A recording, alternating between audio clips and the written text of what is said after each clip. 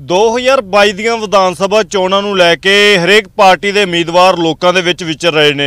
ਲੋਕਾਂ ਤੋਂ ਜਿਹੜੀਆਂ ਕਿ ਵੋਟਾਂ ਮੰਗੀਆਂ ਜਾ ਰਹੀਆਂ ਨੇ ਕਿ 20 ਫਰਵਰੀ ਨੂੰ ਸਾਡੇ ਹੱਕ ਦੇ ਵਿੱਚ ਜਿਹੜੀਆਂ ਕਿ ਵੋਟਾਂ ਪਾਈਆਂ ਜਾਣ। ਹਲਕਾ ਰੂਪਨਗਰ ਦੇ ਵਿੱਚ ਪਹੁੰਚੇ ਆ ਸ਼੍ਰੋਮਣੀ ਅਕਾਲੀ ਦਲ ਤੋਂ ਉਮੀਦਵਾਰ ਅਤੇ ਸ਼੍ਰੋਮਣੀ ਅਕਾਲੀ ਦਲ ਦੇ ਸੀਨੀਅਰ ਲੀਡਰ ਦਲਜੀਤ ਸਿੰਘ ਚੀਮਾ ਜੀ ਸਾਡੇ ਦੇ ਨਾਲ ਮੌਜੂਦ ਨੇ। ਡਾਕਟਰ ਦਲਜੀਤ ਸਿੰਘ ਚੀਮਾ ਜੀ ਚੀਮਾ ਸਾਹਿਬ ਸਭ ਤੋਂ ਪਹਿਲਾਂ ਲਿਵਿੰਗ ਨਿਊਜ਼ ਤੇ ਸਵਾਗਤ ਬਹੁਤ ਮਿਹਰਬਾਨੀ ਜੀ। ਚੀਮਾ ਸਾਹਿਬ ਸਮੀਕਰਨ ਕਿਹੋ ਜਿਹਾ ਮਾਹੌਲ ਕਿਹੋ ਜਿਹਾ ਰੂਪਨਗਰ ਦੀ ਗੱਲ ਕੀਤੀ ਜਾਵੇ? ਦੇਖੋ ਮਾਹੌਲ ਬਹੁਤ ਵਧੀਆ, ਕਿਉਂਕਿ ਬਾਕੀ ਪੰਜਾਬ 'ਚ ਤੇ ਦੋ ਪਾਰਟੀਆਂ ਦਾ ਸਮਝੌਤਾ, ਸਾਡੇ ਤੇ ਤੀਜੀ ਵੀ ਨਾਲ ਹੀ ਆ ਗਈ, ਕਿਉਂਕਿ ਮਦਨ ਮੋਹਨ ਮਿੱਤਲ ਜੀ ਭਾਰਤੀ ਜਨਤਾ ਪਾਰਟੀ ਦੇ ਸਭ ਤੋਂ ਵੱਡੇ ਸੀਨੀਅਰ ਮੋਸਟ ਲੀਡਰ ਔਰ ਉਹਨਾਂ ਦੇ ਸਾਰੇ ਜਿਹੜੇ ਭਾਰਤੀ ਜਨਤਾ ਪਾਰਟੀ ਦੀ ਟੀਮ ਦੇ ਨਾਲ ਉਹਨਾਂ ਨੇ ਰੋ- ਰੋਪੜ ਦੇ ਵਿੱਚ ਆ ਕੇ ਕਮਾਂਡ ਸੰਭਾਲੀ ਹੋਈ ਹੈ ਸਾਡੇ ਨਾਲ। ਔਰ ਉਹਨਾਂ ਦੇ ਆਉਣ ਦੇ ਨਾਲ ਜਿਹੜੀ ਹੈ ਬੜੀ ਵੱਡੀ ਸ਼ਕਤੀ ਸਾਡੀ ਹੋਰ ਵਿੱਚ ਵਾਧਾ ਹੋਇਆ। ਇਸ ਕਰਕੇ ਬਹੁਤ ਅੱਛਾ ਚੱਲ ਰਿਹਾ। ਦਿਨੋ ਦਿਨ ਕਾਫਲਾ ਵੱਡਾ ਹੁੰਦਾ ਜਾ ਰਿਹਾ। ਸਾਡੇ ਪੁਰਾਣੇ ਸਾਥੀ ਸੀ ਸਾਬਕਾ ਮੈਂਬਰ ਐਸਜੀਪੀ ਸੀ ਉਹ ਵੀ ਵਾਪਸ ਆ ਗਏ। ਤੇ ਬਹੁਤ ਵੱਡਾ ਲੋਕਾਂ ਦੇ ਵਿੱਚ ਉਤਸ਼ਾਹ ਆ। ਮੁਕਾਬਲੇ ਦੀ ਗੱਲ ਕੀਤੀ ਹੈ। ਮੁਕਾਬਲਾ ਕਿਸ ਪਾਰਟੀ ਨਾਲ ਹੋਊਗਾ? ਕਿਉਂਕਿ ਇਹ ਇੱਥੋਂ ਦੇ ਹਲਕੇ ਨੇ ਕਹਿ ਸਕਦੇ। ਸਾਰੀਆਂ ਪਾਰਟੀਆਂ ਨੂੰ ਜਿਹੜਾ ਕਿ ਅਪਣਾ ਕੇ ਦੇਖ ਲਿਆ। ਆਮ ਆਦਮੀ ਪਾਰਟੀ ਦੇ ਮੌਜੂਦਾ ਵਿਧਾਇਕ ਨੇ ਇੱਥੋਂ ਕਾਂਗਰਸ ਨੂੰ ਪਹਿਲਾਂ ਅਪਣਾਇਆ ਹੋਇਆ। ਸੋਨੂੰ ਵੀ ਸ਼੍ਰੋਮਣੀ ਅਕਾਲੀ ਦਲ ਨੂੰ ਵੀ ਅਪਣਾਇਆ ਹੋਇਆ। ਮੁਕਾਬਲਾ ਇਸ ਵਾਰ ਕਿਸ ਨਾਲ ਹੋਊ? ਦੇਖੋ ਮੁਕਾਬਲਾ ਦੀ ਗੱਲ ਨਹੀਂ ਹੁੰਦੀ। ਗੱਲ ਤਾਂ ਅਸੀਂ ਹੈ ਕਿ ਜਵਾਬਦੇਹੀ ਕਿਹਦੀ ਹੈ। ਜਵਾਬਦੇਹੀ ਇੱਥੇ ਦੋਨਾਂ ਦੀ ਹੈ। ਕਾਂਗਰਸ ਪਾਰਟੀ ਦੀ ਪੰਸਲ ਸਰਕਾਰ ਰਹੀ। ਉਹਨਾਂ ਦਾ ਨੁਮਾਇੰਦਾ ਇੱਥੇ ਦਾ ਹਲਕਾ ਇੰਚਾਰਜ ਸੀ, ਯੂਥ ਦਾ ਪ੍ਰਧਾਨ ਸੀ। ਬੜੀ ਵੱਡੀ ਪਾਵਰ ਹੁੰਦੀ ਹੈ। ਇੱਕ ਕੰਮ 5 ਸਾਲਾਂ ਦੇ ਵਿੱਚ ਇਲਾਕੇ ਦਾ ਉਹ ਨਹੀਂ ਕਰਵਾ ਸਕਿਆ। ਸਾਡਾ ਜਿਹੜਾ ਆਮ ਆਦਮੀ ਪਾਰਟੀ ਦਾ ਐਮਐਲਏ ਸੀ। ਐਮਐਲਏ ਸਾਹਿਬ 4 ਸਾਲ ਸਰਕਾਰ 'ਚ ਵੀ ਲਾਏ। ਉਹਨਾਂ ਦੇ ਜਿਹੜੀ ਹੈ ਡਿਊਲ ਸਿਟੀਜ਼ਨਸ਼ਿਪ ਸੀ। ਵੀ ਆਮ ਆਦਮੀ ਪਾਰਟੀ 'ਚ ਵੀ ਰਹੇ, ਸਰਕਾਰ 'ਚ ਵੀ ਚਲੇ ਗਏ, ਫਿਰ ਆਮ ਆਦਮੀ ਪਾਰਟੀ 'ਚ ਆ ਗਏ। ਇਸ ਕਰਕੇ ਉਹਨਾਂ ਤੋਂ ਵੀ ਜਵਾਬ ਪੁੱਛਦੇ ਆ। ਅਸੀਂ ਤਾਂ ਕਹਿੰਦੇ ਨਾ ਵੀ ਤੁਸੀਂ ਕਹਿੰਦੇ ਹੋ ਇੱਕ ਮੌਕਾ ਕੇਜਰੀਵਾਲ ਨੂੰ। ਤੇ ਸਾਡੇ ਇਲਾਕੇ ਨੇ ਤਾਂ ਐਡਾ ਸੋਹਣਾ ਮੌਕਾ ਦਿੱਤਾ ਸੀ। ਇਸ ਕਰਕੇ ਆਮ ਆਦਮੀ ਪਾਰਟੀ ਦੱਸੇ ਵੀ ਕੀ ਕਾਰਗੁਜ਼ਾਰੀ ਹੈ। ਚਿਹਰੇ ਬਦਲ ਕੇ ਧੋਖਾ ਦੇ ਕੇ ਜਨਤਾ ਨੂੰ ਤੁਸੀਂ ਗਮਰਾਹ ਨਹੀਂ ਕਰ ਸਕਦੇ। ਪਾਰਟੀ ਤਾਂ ਉਹੀ ਹੈ। ਐਡੀ ਵੱਡੀ ਗਰੰਟੀਆਂ ਦਿੱਤੀਆਂ ਸੀ। ਹਰ ਚੀਜ਼ ਦੀ ਕੇਜਰੀਵਾਲ ਗਰੰਟੀ ਦਿੰਦਾ। ਤੇ ਜਿਹੜੇ ਐਮਐਲਏ ਦੀ ਕੋਈ ਗਰੰਟੀ ਨਹੀਂ। 20 ਐਮਐਲਏ ਬਣਾਏ 11 ਉਹਦੇ ਜਿਹੜੇ ਕਾਂਗਰਸ ਚਲੇ ਗਏ 4 ਐਮਪੀ ਬਣਾਏ, ਤਿੰਨ ਭੱਜ ਗਏ। ਇਹਦੀ ਗਰੰਟੀ ਕੌਣ ਦਊਗਾ? ਇਹ ਜਵਾਬ ਹੁਣ ਜਨਤਾ ਉਹਨਾਂ ਤੋਂ ਪੁੱਛ ਰਹੀ ਹੈ। ਪਰ ਆਮ ਆਦਮੀ ਪਾਰਟੀ ਦੇ ਉਮੀਦਵਾਰ ਇੱਥੋਂ ਦਿਨੇਸ਼ ਚੱਡਾ ਨੇ ਉਹ ਕਹਿ ਰਹੇ ਨੇ ਕਿ ਸਾਡਾ ਤਾਂ ਅ, ਅਸੀਂ ਤਾਂ ਸੱਤਾ ਦੇ ਵਿੱਚ ਹੀ ਹੈ ਨਹੀਂ ਸੀ। ਲੋਕਾਂ ਦੇ ਸਵਾਲ ਸਾਨੂੰ ਕਿਉਂ ਹੋਣਗੇ? ਲੋਕਾਂ ਦੇ ਸਵਾਲ ਕਾਂਗਰਸ ਨੂੰ ਆ ਕਿ 5 ਸਾਲ ਦੇ ਵਿੱਚ ਜੋ ਵਾਅਦੇ ਕੀਤੇ ਸਨ ਉਹ ਵਾਅਦੇ ਪੂਰੇ ਕਿਉਂ ਨਹੀਂ ਹੋਏ? ਇਹਨਾਂ ਨੂੰ ਪੁੱਛੋ ਤੁਹਾਡੇ ਐਮਐਲਏ ਸਾਹਿਬ ਯਾਤਰਾ ਕਰਕੇ ਆਏ ਕਿ ਨਹੀਂ ਸਰਕਾਰ ਦੀ? ਯਾਤਰਾ ਕਰਨ ਤੋਂ ਬਾਅਦ ਫਿਰ ਤੁਹਾਡੇ ਕੋਲ ਆਏ? ਤੁਸੀਂ ਐਕਸੈਪਟ ਕੀਤੇ ਕਿ ਨਹੀਂ ਕੀਤੇ? ਇਸ ਕਰਕੇ ਜਵਾਬਦੇਹ ਕਿਉਂ ਨਹੀਂ ਹੈ? ਜਵਾਬਦੇਹ ਕੌਣ ਕਰੂਗਾ? ਤੁਹਾਡਾ ਐਮਐਲਏ ਲੋਕਾਂ ਨੇ ਇਥੋਂ ਵੱਡੀ ਲੀਡ ਨਾਲ ਜਿਤਾਇਆ। 5 ਸਾਲ ਇਹ ਇਲਾਕਾ ਜਿਹੜਾ ਇੱਥੇ ਇੱਕ ਇੱਟ ਨਹੀਂ ਲੱਗੀ, ਜਿੰਨਾ ਕੰਮ ਮੈਂ ਕਰ ਗਿਆ, ਲੋਕੀ ਅੱਜ ਯਾਦ ਕਰਦੇ ਆ। ਇੱਕ ਵੀ ਇੱਟ ਉਸ ਤੋਂ ਬਾਅਦ ਨਹੀਂ ਲੱਗੀ। ਤੇ ਜਵਾਬਦੇਹ ਕੌਣ ਦਊਗਾ? ਚੱਡਾ ਸਾਹਿਬ ਆਮ ਆਦਮੀ ਪਾਰਟੀ 'ਚ ਨਹੀਂ ਸੀ? ਚੱਡਾ ਸਾਹਿਬ ਪਿਛਲੀ ਵਾਰੀ ਉਹਦੀਆਂ ਵੋਟਾਂ ਮੰਗਣ ਨਹੀਂ ਗਏ? ਉਦੋਂ ਤਾਂ ਝੋਲੀਆਂ ਅੱਡ ਕੇ ਸਾਰੇ ਜਿਹੜੇ ਆ, ਪ੍ਰਚਾਰ ਕਰਦੇ ਸੀ। ਤੇ ਹੁਣ ਜ਼ਿੰਮੇਵਾਰੀ ਲੈਣ ਤੋਂ ਕਿਉਂ ਭੱਜਦੇ ਆ? ਇਹੀ ਇਸ ਪਾਰਟੀ ਦੀ ਜਿਹੜੀ ਹੈਗੀ ਆ, ਇੱਕ ਵੱਖਰੀ ਚਾਲ ਹੈ ਕਿ ਜ਼ਿੰਮੇਵਾਰੀ ਕੋਈ ਨਹੀਂ ਲੈਂਦਾ। ਸਿਰਫ ਕੁਐਸਚਨ ਰੇਜ਼ ਕਰਦੇ ਆ ਜਦੋਂ ਜ਼ਿੰਮੇਵਾਰੀ ਦਾ ਸਵਾਲ ਆਉਂਦਾ ਫਿਰ ਕੇਜਰੀਵਾਲ ਵੀ ਨਹੀਂ ਟਿਕਦਾ ਬਾਕੀ ਵੀ ਨਹੀਂ ਟਿਕਦੇ। ਜਿਵੇਂ ਸੋ ਦਰਿਆਈ ਇਲਾਕਾ ਪੈ ਜਾਂਦਾ ਰੋਪੜ ਦੀ ਰੋਪੜ ਬੈਲਟ ਦੀ ਗੱਲ ਕੀਤੀ ਜਾਵੇ ਆਸੇ-ਪਾਸੇ ਦਾ ਜਿਹੜਾ ਸਾਰਾ ਇਲਾਕਾ ਦਰਿਆਈ ਇਲਾਕਾ ਹੈ। ਇੱਥੇ ਬਹੁਤ ਸਾਰੀਆਂ ਲੋਕਾਂ ਦੀਆਂ ਸਮੱਸਿਆਵਾਂ ਬਹੁਤ ਹੁੰਦੀਆਂ ਕਿਉਂਕਿ ਇਹ ਜਿਹੜੇ ਪਿੰਡ ਆ ਉਹ ਵੀ ਛੋਟੇ ਨੇ ਤੇ ਪਰ ਪਿੰਡਾਂ ਦੇ ਵਿੱਚੋਂ ਜੋ ਸਮੱਸਿਆ ਬਾਹਰ ਕੱਢਣੀਆਂ ਬਹੁਤ ਔਖੀਆਂ ਹੋ ਜਾਂਦੀਆਂ। ਇਸ ਵਾਰ ਰੂਪਨਗਰ ਹਲਕੇ ਦੇ ਮੁੱਖ ਮੁੱਦੇ ਕੀ ਹੋਣਗੇ ਪਿੰਡਾਂ ਦੇ ਮੁੱਦੇ ਕੀ ਹੋਣਗੇ? ਦੇਖੋ ਇਹ ਜਿਹੜਾ ਕੰਢੀ ਦਾ ਇਲਾਕਾ ਨਾ ਬਹੁਤ ਮੁਸ਼ਕਿਲ ਇਲਾਕਾ। ਪਹਿਲਾਂ ਤਾਂ ਜਦੋਂ ਮੈਂ ਆਇਆ ਸੀ ਕਿਤੇ ਵੀ ਇੱਥੇ ਕੋਈ ਕੰਮ ਦੀ ਸੜਕ ਨਹੀਂ ਸੀ। ਆ ਸਾਰੀਆਂ ਸੜਕਾਂ ਜਿਨ੍ਹਾਂ ਤੇ ਹੁਣ ਤੁਸੀਂ ਜਾਂਦੇ ਹੋ, ਇਹ ਸਾਰੀਆਂ ਮੇਰੇ ਟਾਈਮ ਦੇ ਉੱਤੇ ਵੱਡੀਆਂ ਸੜਕਾਂ ਇਸ ਇਲਾਕੇ 'ਚ ਬਣੀਆਂ। 40 ਨਵੀਆਂ ਸੜਕਾਂ ਮੈਂ ਇਸ ਇਲਾਕੇ 'ਚ ਬਣਾਈਆਂ। ਫਿਰ ਇੱਥੇ ਮੈਂ ਵਿਦਿਅਕ ਅਦਾਰੇ ਬਣਾਏ, ਰਾਏਪੁਰ ਮੁੰਡੇ ਸਰਕਾਰੀ ਕਾਲਜ ਬਣਾਇਆ ਆਈਟੀਆਈ ਬਣਾਈ ਆਈਆਈਟੀ ਪਹਿਲਾਂ ਬਣਾਈ ਐਨਸੀਸੀ ਅਕੈਡਮੀ ਬਣਾਈ ਸਕੂਲ ਤੇ ਹੀ ਅਪਗ੍ਰੇਡ ਕੀਤੇ।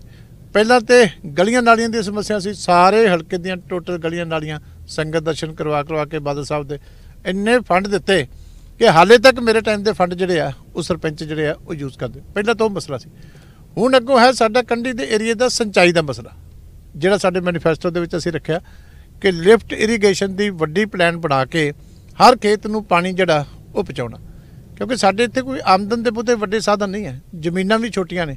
ਇਸ ਕਰਕੇ ਜੇ ਸਿੰਚਾਈ ਦਾ ਕੰਮ ਠੀਕ ਹੋ ਜਾਵੇ, ਕਿਉਂਕਿ ਹੁਣ ਤਾਂ 7 800 ਫੁੱਟ ਤੇ ਜਾ ਕੇ ਟਿਊਬਲ ਲੱਗਦਾ। ਬਹੁਤ ਮਹਿੰਗੇ ਟਿਊਬਲ ਨੇ, ਹਰ ਕੋਈ ਲਵਾ ਨਹੀਂ ਸਕਦਾ। ਇਸ ਕਰਕੇ ਇੱਕ ਤਾਂ ਉਹ ਅਸੀਂ ਕੀਤਾ। ਇੱਕ ਅਸੀਂ ਕਿਹਾ ਕਿ ਕੰਢੀ ਏਰੀਏ ਦੀ ਮਿਨਿਸਟਰੀ ਵੱਖਰੀ ਕਰੋ। ਇਹਦੀਆਂ ਬੜੀਆਂ ਸਮੱਸਿਆਵਾਂ ਨੇ, ਦਰਿਆ ਨੇ ਵਿੱਚ ਚੋ ਨੇ ਵਿੱਚ, ਪੁਲੀਆਂ ਨੇ ਵਿੱਚ। ਕੋਈ ਕੰਢੀ ਏਰੀਏ 'ਚ ਅਧਿਆਪਕ ਜਾ ਕੇ ਰਾਜੀ ਨਹੀਂ, ਕੰਢੀ ਏਰੀਏ ਦੇ ਵਿੱਚ ਹਸਪਤਾਲਾਂ 'ਚ ਕੋਈ ਜਾ ਕੇ ਰਾਜੀ ਨਹੀਂ। ਵੱਖਰੀ ਮਿਨਿਸਟਰੀ ਹੋਵੇ, ਇਹਦੀ ਪ੍ਰੋਪਰ ਸਟੱਡੀ ਹੋਵੇ, ਪ੍ਰੋਪਰ ਬਜਟ ਹੋਵੇ ਤੇ ਸਾਰੀਆਂ ਇਹਦੀਆਂ ਸਮੱਸਿਆਵਾਂ ਜਿਹੜੀਆਂ ਉਹ ਹੱਲ ਹੋਣ। ਉਹ ਚੀਜ਼ਾਂ ਵਾਸਤੇ ਹੁਣ ਅਸੀਂ ਜ਼ੋਰ ਜਿਹੜਾ ਉਹ ਲਾ ਰਹੇ ਤੁਸੀਂ ਕਹਿ ਰਹੇ ਹੋ ਕਿ ਜਿਹੜੀ ਸੜਕ ਤੇ ਆਪਾਂ ਜਾ ਰਹੇ ਹਾਂ ਇਹ ਸੜਕ ਅ, ਸ਼੍ਰੋਮਣੀ ਅਕਾਲੀ ਦਲ ਦੇ ਕਾਰਜਕਾਲ ਦੌਰਾਨ ਬਣੀ ਹੈ। ਤੇ 5 ਸਾਲ ਸਰਕਾਰ ਨੇ ਫਿਰ ਕੀ ਕੀਤਾ?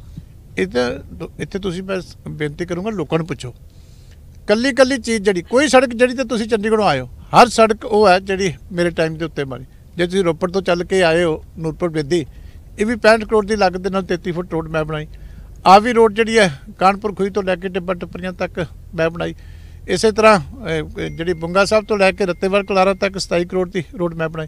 ਸਾਰੇ ਵੱਡੇ ਮਾਰਗ ਬਣਾ ਕੇ ਸਾਰੇ ਹਲਕੇ ਦੀ ਕਨੈਕਟੀਵਿਟੀ ਜਿਹੜੀ ਆ, ਉਹ ਕੀਤੀ। ਰੋਪੜ ਦੇ ਵਿੱਚ ਬਾਈਪਾਸ ਐਡਾ ਵੱਡਾ ਬਣਿਆ, ਮੇਰੇ ਟਾਈਮ ਦਾ ਹੈ। ਇਸੇ ਤਰ੍ਹਾਂ ਪੁਰਖਾਲੀ ਵਾਲੇ ਪਾਸੇ ਜਾਓਗੇ, ਤਾਂ ਵੱਡੀ ਰੋਡ ਜਿਹੜੀ ਹੈਗੀ ਆ, ਉਹ ਮੇਰੇ- ਮੇਰੇ ਟਾਈਮ ਤੇ ਬਣਾਈ ਗਈ। ਇਹ ਸਾਰਾ ਨੈਟਵਰਕ ਹੀ 5 ਸਾਲਾਂ ਦਾ ਬਣਿਆ। ਇਹੀ ਤਾਂ ਇਸ ਵੇਲੇ ਲੋਕੀ ਯਾਦ ਕਰਦੇ ਆ। ਪਿਛਲੀ ਵਾਰੀ ਤਾਂ ਕੂੜ ਪ੍ਰਚਾਰ ਇਦਾਂ ਦਾ ਹੋ ਗਿਆ ਕਿ ਕਿਸੇ ਨੇ ਬੇਸਿਕ ਇਸ਼ੂ ਵਾਲੇ ਪਾਸੇ ਧਿਆਨ ਹੀ ਨਹੀਂ ਦਿੱਤਾ। ਅੱਜ ਤੇ ਜਨਤਾ ਯਾਦ ਹੀ ਇਹ ਕਰਦੀ ਆ।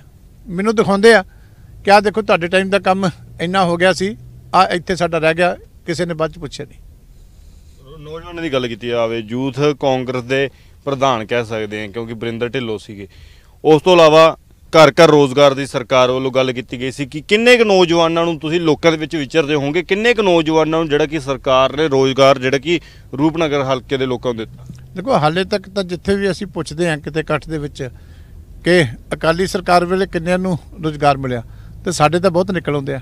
ਅਧਿਆਪਕ ਨਿਕਲ ਆਉਂਦੇ ਆ, ਹੈਲਥ ਡਿਪਾਰਟਮੈਂਟ ਦੇ ਨਿਕਲ ਆਉਂਦੇ ਆ, ਪੁਲਿਸ ਦੇ ਨਿਕਲ ਆਉਂਦੇ ਆ, ਹੋਰ ਡਿਪਾਰਟਮੈਂਟ ਦੇ ਨਿਕਲ ਆਉਂਦੇ ਆ। ਕਾਂਗਰਸ ਦਾ ਕਦੀ ਅੱਜ ਤੱਕ ਕਦੀ ਕਿਸੇ ਨੇ ਨਾਂ ਨਹੀਂ ਦਿਆ ਕਿਉਂਕਿ ਕੋਈ ਰਿਕਰੂਟਮੈਂਟ ਹੁੰਦੀ ਹੋਈ ਨਹੀਂ। 5 ਸਾਲ ਇਹਨਾਂ ਨੇ ਨੌਜਵਾਨਾਂ ਦੇ ਬਰਬਾਦ ਕਰ ਦਿੱਤੇ। ਇਹਨਾਂ ਨੇ ਤੇ ਲੋਕਾਂ ਦੇ ਰੁਜ਼ਗਾਰ ਖੋਏ ਆ। ਪਹਿਲਾਂ ਥਰਮਲ ਪਲਾਂਟ ਬੰਦ ਕੀਤੇ, ਉਹ ਖੋਲੇ ਫਿਰ ਸੇਵਾ ਕੇਂਦਰ ਬੰਦ ਕੀਤੇ, ਉਹਨਾਂ ਦੇ ਰੁਜ਼ਗਾਰ ਖੋਲੇ 3000 ਮਿੰਨੀ ਬੱਸ ਪਰਮਿਟ ਕੈਨਸਲ ਕਰ ਦਿੱਤਾ। ਉਹਨਾਂ ਨੂੰ ਬੇਰੁਜ਼ਗਾਰ ਕਰ ਦਿੱਤਾ। ਟਰੱਕ ਯੂਨੀਅਨ ਤੋੜੀਆਂ, ਉਹਨਾਂ ਨੂੰ ਬੇਰੁਜ਼ਗਾਰ ਕਰ ਦਿੱਤਾ। ਜਿਹੜੇ ਟੀਚਰ 45000 ਲੈਂਦੇ ਸੀ, ਉਹਨਾਂ ਨੂੰ 15000 ਤੇ ਲੈਂਦਾ ਇਹਨਾਂ ਨੇ ਤੇ ਨੁਕਸਾਨ ਕੀਤਾ ਖੋਇਆ ਦਿੱਤਾ ਕੱਖ ਨਹੀਂ। ਨਵਜੋਤ ਸਿੰਘ ਸਿੱਧੂ ਹੋਰਾਂ ਦੀ ਗੱਲ ਕੀਤੀ ਜਾਵੇ, ਕਹਿੰਦੇ ਨੇ ਕਿ ਚੰਦ ਸਿੰਘ ਚੰਨੀ ਹੋਰਾਂ ਨੂੰ ਮੁੱਖ ਮੰਤਰੀ ਚਿਹਰਾ ਲਾਣਨ ਤੋਂ ਬਾਅਦ ਕਹਿੰਦੇ ਜੀ ਸਹਿਮਤ ਆ, ਪਰ ਫਿਰ ਧੂਰੀ ਵਿਖੇ ਰੈਲੀ ਹੁੰਦੀ ਹੈ ਇੱਕ ਦਿਨ, ਉਸ ਦਿਨ ਰੈਲੀ ਤੇ ਬੋਲਣ ਤੋਂ ਮਨਾ ਕਰ ਦਿੰਦੇ ਕਾਟੋ ਕਲੇਸ਼ ਫਿਰ ਵਧਣ ਦੇ ਅਸਾਰ ਲੱਗਦੇ ਨੇ, ਪਰ ਨਾਲ ਦੀ ਨਾਲ ਟਵੀਟ ਵੀ ਹੋ ਜਾਂਦਾ ਕਿ ਮੁੱਖ ਮੰਤਰੀ ਉਹ ਬਣੇਗਾ ਜਿਹਦੇ 60 ਐਮਐਲਏ ਹੋਣਗੇ। ਦੇਖੋ, ਗੱਲ ਇਹ ਹੈ ਕਿ ਇਹਨਾਂ ਦਾ ਕਿਹੜਾ ਮੁੱਖ ਮੰਤਰੀ ਬਣਨਾ? ਪਹਿਲੀ ਗੱਲ ਤਾਂ ਐਵੇਂ ਝੂਠੇ ਦੇਸ਼ 'ਚ ਪਏ ਆ। ਮੰਨ ਲੈਣ, ਜਿਹਨੂੰ ਮਰਜ਼ੀ ਮੰਨ ਲੈਣ, ਇੱਥੇ ਕਿਹੜਾ ਬਣਨ ਲੱਗਿਆ? ਦੂਜੀ ਗੱਲ ਹੈ ਕਿ ਸਿੱਧੂ ਸਾਹਿਬ ਦੇ ਤੇ ਹੁਣ ਮਜੀਠਾ ਸਾਹਿਬ ਨੇ ਜਿਹੜੇ ਆ, ਉਹ ਛਿੱਕੇ ਛੜਾਤੇ ਸਿੱਧੂ ਸਾਹਿਬ ਤਾਂ ਹੁਣ ਜਿਹੜੇ ਆ ਡਿਪਰੈਸ਼ਨ ਦੇ ਵਿੱਚ ਇਸ ਵੇਲੇ ਤੁਸੀਂ ਦੇਖੋਗੇ, ਉਹਨਾਂ ਦਾ ਜਿਹੜਾ ਸਾਰਾ ਐਟੀਟਿਊਡ ਹੈ ਡਿਪਰੈਸ਼ਨ ਵਾਲਾ। ਉਹਨਾਂ ਦੇ ਜਿਹੜੇ ਭਾਸ਼ਣ ਨੇ, ਉਹਨਾਂ ਦੇ ਬੀਬੀ ਨਵਜੋਤ ਕੌਰ ਸਿੱਧੂ ਦੇ ਜਿਹੜੇ ਭਾਸ਼ਣ ਨੇ, ਉਹ ਸਾਰੇ ਹੁਣ ਸਰੈਂਡਰ ਵਾਲੇ ਆ। ਉਹ ਤਾਂ ਹੁਣ ਬੰਬੇ ਜਾਣ ਦੀਆਂ ਗੱਲਾਂ ਕਰਦੇ ਆ।